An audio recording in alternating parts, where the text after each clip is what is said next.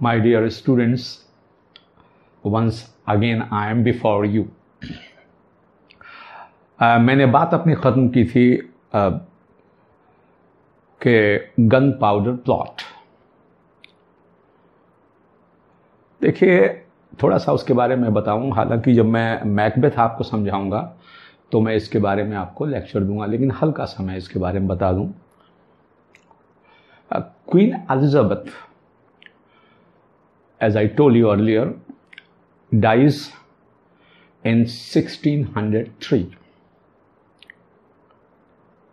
लेकिन queen Elizabeth ने अपने ज़माने में रोमन कैथोलिक्स के खिलाफ एक लॉ पास किया था जिससे जिसकी वजह से रोमन कैथोलिक्स जो थे वो बहुत नाराज़ थे उससे तो उसकी डेथ के बाद James six of Scotland became the king of England as James first king of England and Ireland तो लोगों को उम्मीद थी ये कैथोलिक्स को ये उम्मीद थी कि उसके अंदर थोड़ी फ्लैक्सिबिलिटी आएगी। वो थोड़ा सेकुलर रहेगा। लेकिन उनकी एक्सपेक्टेशंस के अकॉर्डिंगली काम नहीं हुआ। तो जो रोमन कैथोलिक्स थे, वो भड़कने लगे। उसने एक काम और किया कि अपनी बेटी जो उस वक्त नौ साल की थी, जिसका नाम एलिजाबेथ था कैथोलिक्स का हेड बनाने के लिए डिक्लेयर कर दी कि इसको हेड बनाने जा रहा है। इससे लोग बहुत भड़क गए। तो लोगों के अंदर जो अंदर एक आग सी लगी हुई थी तो उन्होंने सोचा कि भाई इसको ख़त्म कर दिया जाए, इसको किसको जेम्स फ़र्स्ट को। इन्होंने उसके खिलाफ एक कॉन्स्पिरेसी रची। और उसका जो हेड था जिसका नाम था, नाम याद रखिएगा, रॉबर्ट कैट्सबी। रॉबर्ट कैट्सबी, ये कैथोलिक था। इसने नौ नौ दस लोगों का एक ग्रुप बनाया और उसमें एक और इंपॉर्टेंट आदमी था जिसका नाम गाय फॉक्स था। गाय फॉक्स था। ये गाय फॉक्स जो था, ये रिटायर्ड मिलिट्री से था रिटायर्ड मैन था तो इसको काफ़ी एक्सपीरियंस था बॉम्ब बनाना, उड़ाना और ये करना, ये सारी चीज़। तो इन लोगों ने मिलके ट्वेंटी सिक्स ऑफ़ अक्टूबर को twenty six of October sixteen five. में इन्होंने क्या किया कि आपस में मीटिंग की और एक लेटर इन्होंने आपस में डिस्ट्रीब्यूट किया कि हम लोगों को आ, किसी को पता न चलने पाए। फिफ्थ ऑफ़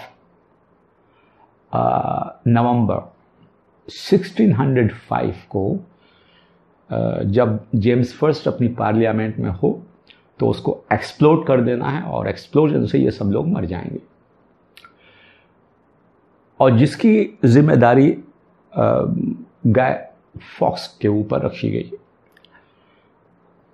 ये लेटर जो था it's very interesting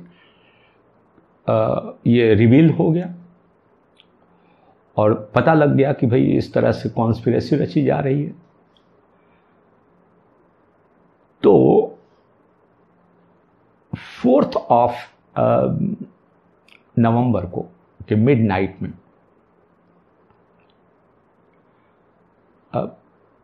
such operation हुआ। इन्होंने सारा गन पाउडर वगैरह जो था, वो एक हाउस ऑफ़ जो पार्लियामेंट था, उसके बगल में एक मकान के अंदर इन्होंने उसको सब इकट्ठा किया था, ज़ख़ीरा, और वो रेंटल पे था। तो इन्होंने क्या किया कि सर्च ऑपरेशन किया। और उस सर्च ऑपरेशन में 36 बैरल, आप इमेजिन करेंगे 36 barrel gun powder was recovered और ये सब रखे गए थे इसलिए कि पार्लियामेंट को उड़ा दिया जाए जेम्स फ़र्स्ट को मार दिया जाए जान से। क्योंकि रोमन कैथोलिक्स का, को प्रोजिक्यूट कर रहा था वो। उनको अरेस्ट कर रहा था, उनको मार रहा था उनके साथ। तो बदला लेने के लिए इन लोगों ने किया था। लेकिन ये लोग अरेस्ट हो गए और वो उनका प्लॉट जो था, उड़ाने का पार्लियामेंट को, वो टोटली इट वॉज़ फ्रस्ट्रेटेड और इन लोगों को गिरफ़्तार कर लिया। तो ये प्लॉट जो था gun powder plot it was foil foil means frustrated ये कामयाब नहीं हो पाया। सवाल ये उठता है कि 1606 में शेक्सपियर ने मैकबेथ लिखा तो इसका मैकबेथ से क्या रिलेशन हालाँकि जब मैं मैकबेथ आपको बताऊँगा तो इसको एक्सप्लेन करूँगा। हल्का सा इशारा देके चलूँ, मुझे बहुत लंबा करना है। ये इल्ज़ाम शेक्सपियर के ऊपर भी आया कि इस कॉन्स्पिरसी में शेक्सपियर भी शामिल था, या उसके फादर के कुछ फ्रेंड्स वगैरह चूँकि इसकी माँ जो थी रोमन कैथोलिक थी। ठीक? कैथोलिक थी। तो इसके ऊपर भी शक हुआ कि शेक्सपियर तो उस शक को दूर करने के लिए उस, जो इसके ऊपर एलिगेशंस लग रहे थे, उसको दूर करने के लिए शेक्सपियर ने मैकबेथ लिखा मैकबेथ लिखा। और जब मैं बैक पाऊँगा तो आपको एक्सप्लेन करूँगा let it let me go ahead और इसी साल शेक्सपियर ने एंटोनी एंड क्लियोपेट्रा लिखा। It's a Roman play it's very interesting play 1608 में शेक्सपियर ने कोरो कोरियोलैनस लिखा। आ, और एक इंटरेस्टिंग बात मैं आपको बताऊँ कि 1608 जो ईयर है ये बहुत ही इंपॉर्टेंट है क्योंकि इसी साल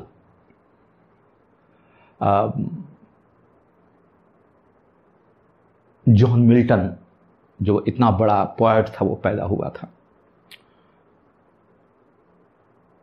चूँकि एलिजाबेथन एज 1603 पे ख़त्म हो जाती है, जेकोबियन एज शुरू होती है, और मिल्टन पैदा हुआ था पाँच साल के बाद मीन्स 1608 में पैदा हुआ था। बाय द एंड ऑफ़ 1608 तो आप लोगों ने बर्थडे वगैरह तो मनाया होगा तो आप अगर किसी का बर्थडे आपके फ्रेंड का होता है तो आ, अगर आप भूल जाते हैं कि उसको विश करने के लिए आ, तो दो तीन दिन के बाद याद आती है तो आप कहते हैं belated happy birthday to you तो चूँकि ये पाँच साल बाद पैदा हुआ था इसलिए याद रखिएगा मिल्टन को जॉन मिल्टन को बिलेटेड एलिजाबेथन भी कहा जाता है। दैट इज़ अ रीजन हालाँकि वो जेकोबियन एज थी, लेकिन इसको बिलेटेड एलिजाबेथन कहा जाता है। तो who is called belated Elizabethan John Milton मेरा टॉपिक मिल्टन नहीं है, बात आई है तो मैं बता रहा हूँ आपको। और एक इंटरेस्टिंग बात मिल्टन के बारे में आपको और बता दूँ कि मिल्टन ने सॉनेट्स लिखे। और एक सोनेट जो है इंटरमीडिएट या अलग क्लासेस में बहुत पढ़ाया जाता है, जिसका नाम है ऑन हिज ब्लाइंडनेस और कहा जाता है, और सच भी है, कि ये ऑटोबायोग्राफिकल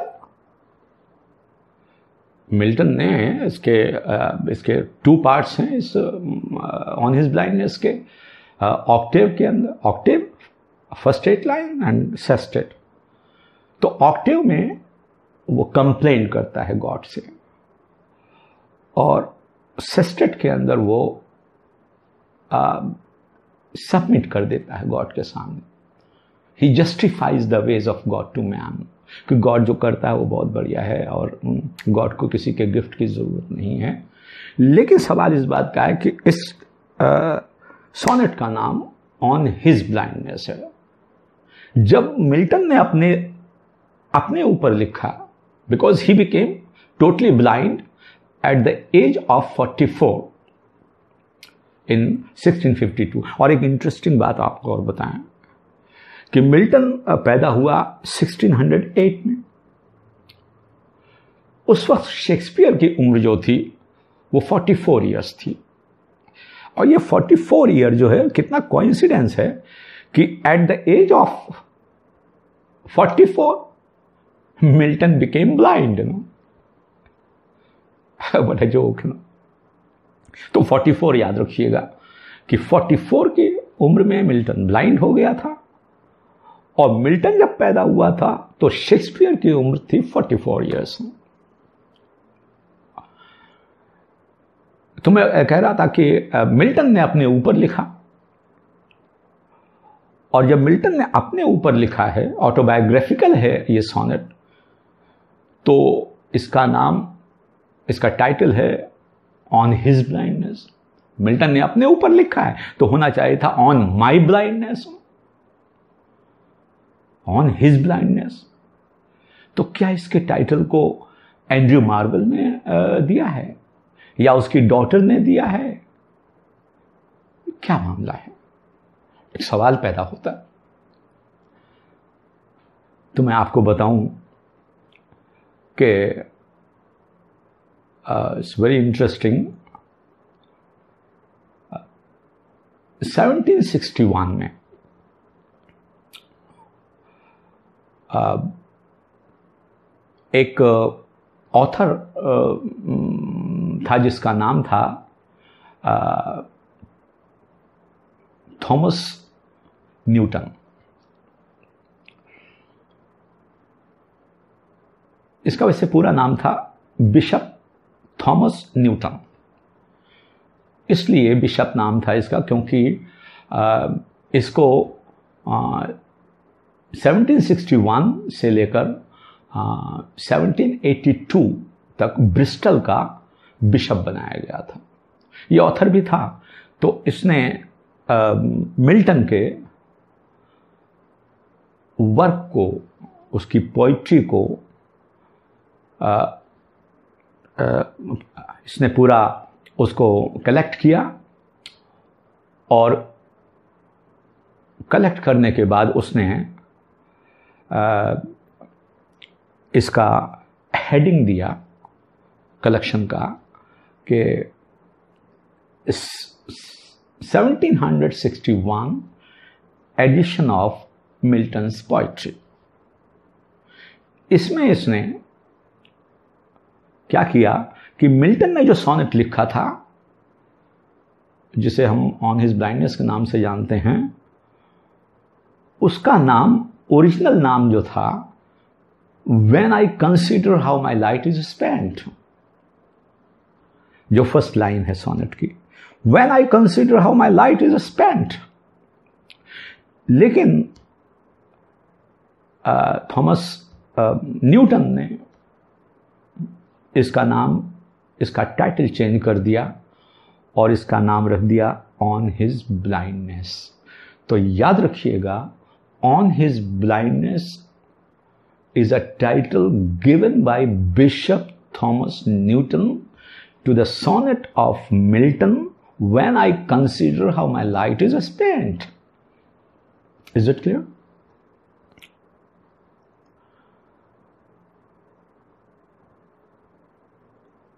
Well well, uh, 1608 में मेरा टॉपिक मिल्टन नहीं था। मिल्टन जब आएगा तो मैं आपको और एक्सप्लेन बहुत कुछ एक्सप्लेन करूँगा।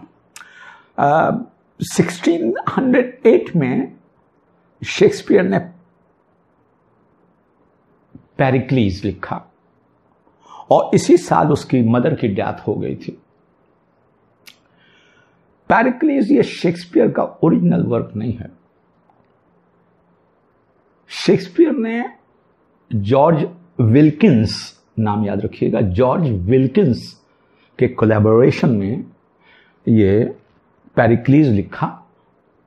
पैरिक्लीज का दूसरा नाम भी है द प्रिंस ऑफ़ टैर ये इसका ओरिजिनल वर्क नहीं, याद रखिए कोलेबोरेशन में। कुछ पार्ट इसके जॉर्ज विल्किंस ने लिखा है।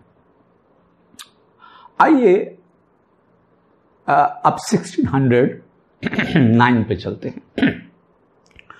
1609 में शेक्सपियर ने अपने, अपना विंटर स्टेल लिखा और it is one of the finest romances that Shakespeare wrote. और एक इंटरेस्टिंग बात कि विंटर स्टेल जो शेक्सपियर ने लिखा है इसी टाइटल को और दूसरे राइटर्स ने भी अपने नॉवेल्स या अपने वर्क का दिया है जो मैं आपको बताना चाहता हूँ क्योंकि इसमें बड़ा कंफ्यूजन होता है कभी कभी तो शेक्सपियर ने जो लिखा है जो रोमांस है आ, उसका नाम है द विंटर्स टेल क्या नाम है उसका? द विंटर्स टेल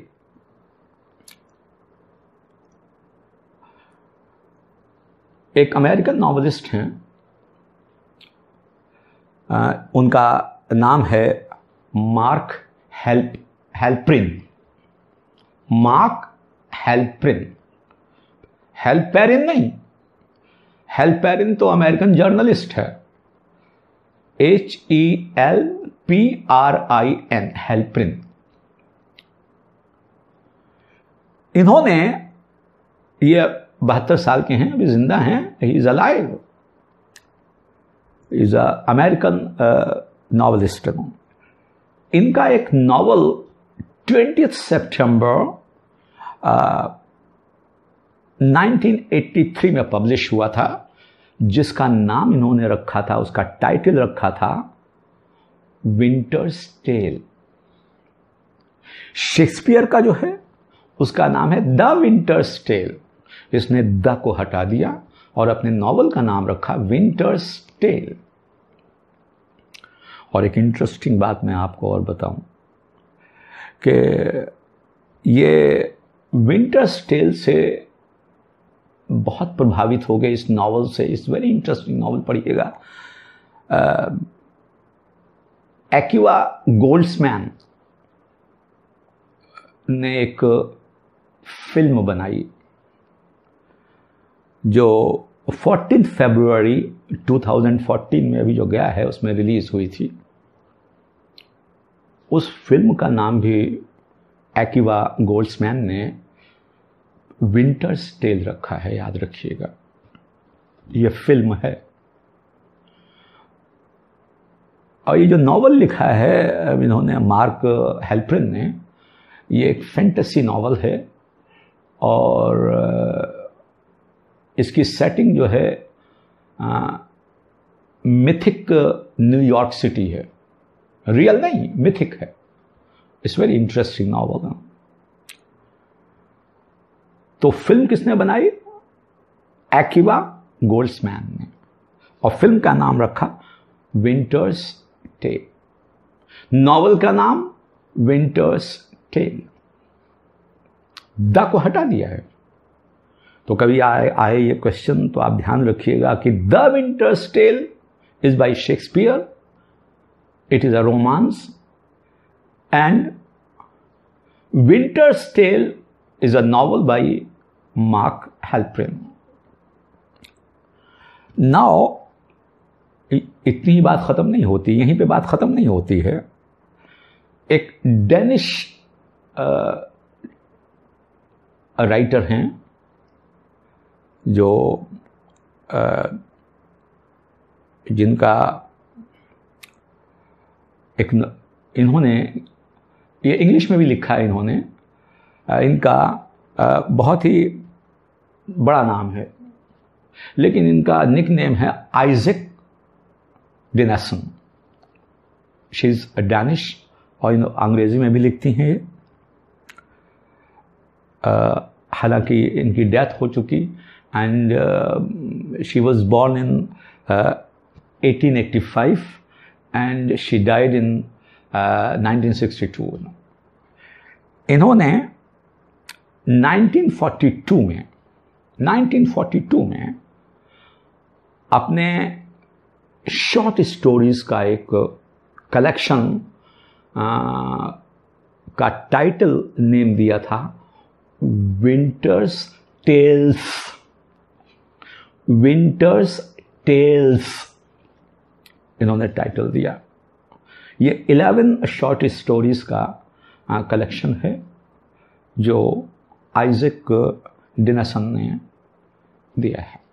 याद रखिएगा, मैं शॉर्ट में बताऊँ आपको the winter's tale is a romance by William Shakespeare winter's tale the को हटा दिया। Winter's tale is written by you know Mark Helprin जो अमेरिकन नॉवलिस्ट हैं, जो ज़िंदा हैं, बहत्तर साल के हैं सेवेंटी टू ईयर्स इनकी उम्र हो गई है ही इज़ अलाइव और winter's tales is a collection of stories by Isak Dinesen she is a Danish author she writes in English याद रखिएगा इस चीज़ को। इन 1610 Shakespeare wrote Cymbeline. And after Cymbeline, in 1611, he wrote The Tempest. The Tempest is very interesting. Why it is called The Tempest? Tempest, you know, आ, ये जब Tempest में कराऊँगा तो मैं आपको एक्सप्लेन करूँगा मैं आपको समझाऊँगा बताने की कोशिश करूँगा। आ, लेकिन इस वक्त ना समझ लीजिए कि द टेम्पेस्ट जो है this is the swan song of Shakespeare this is the last work of Shakespeare that came from the pen of Shakespeare no इसको स्वान सॉन्ग कहा जाता है शेक्सपियर का। ये ऑटोबायोग्राफिकल भी है वो मैं आगे चल के आपको बताऊँगा। और इस टेम्पेस्ट का थीम क्या है? Forgiveness and reconciliation is the theme of the tempest और इसका एक और थीम है कई सिंबल्स हैं इसके। एक सिंबल मैं आपको बता दूँ जब मैं टेम्पेस्ट बताऊँगा तो मैं आपको समझाऊँगा इस चीज़ के बारे में। आ, इसका एक और है सिंबल है जिसको हम कह सकते हैं कि native peoples peoples P O P L E apostrophe ऐसा native peoples revolt against the colonising power ये भी थीम है इसका। आपको मालूम है कि प्रॉस्पेरो जो है उस आइलैंड में आता है और वो उसको कैलिबन को उसकी माँ को ख़त्म कर देता है, उसको इम्प्रिजन कर लेता है और कैलिबन को नौकर बना के रखता है। और कैलिबन बार बार कहता है कि this is our island this is our island leave it leave it go from here this is not your country this is not your place go from this place और कहता, ठीक है ठीक है ठीक है, हम चले जाएँगे। जैसा कि हमारे देश के अंदर अंग्रेज़ आ गए और हम लोगों ने कहा, भागो यहाँ से क्योंकि ये देश हमारा है। है ना? तो native peoples revolt against the colonising powers याद रखिएगा इस चीज़ को। और इसका एक थीम और भी है कि children are lost and found tempest कराऊँगा तब मैं आपको एक्सप्लेन करूँगा। चलिए सिक्सटीन ट्वेल्व में हैनी रियसले, जो शेक्सपियर का पेट्रोन था, उसकी डेथ हो जाती है। It was a great shock no and in 1613 Shakespeare writes Henry eight in collaboration with John Fletcher John Fletcher के साथ मिलकर उसने लिखा है। ये ओरिजिनल वर्क शेक्सपियर का नहीं है। लास्ट वर्क था शेक्सपियर का द टेम्पेस्ट इसके बाद शेक्सपियर ने और हेनरी एर्थ का एक दूसरा टाइटल भी है, उसका ऑल इज़ ट्रू इसका सेकंड टाइटल है, याद रखिएगा। In 1613 and 14 Shakespeare writes the two जिंट the to noble kinsmen ये भी जॉन फ्लेचर के कोलाबोरेशन में लिखा है, याद रखिए। जॉन फ्लेचर के कोलाबोरेशन में लिखा है।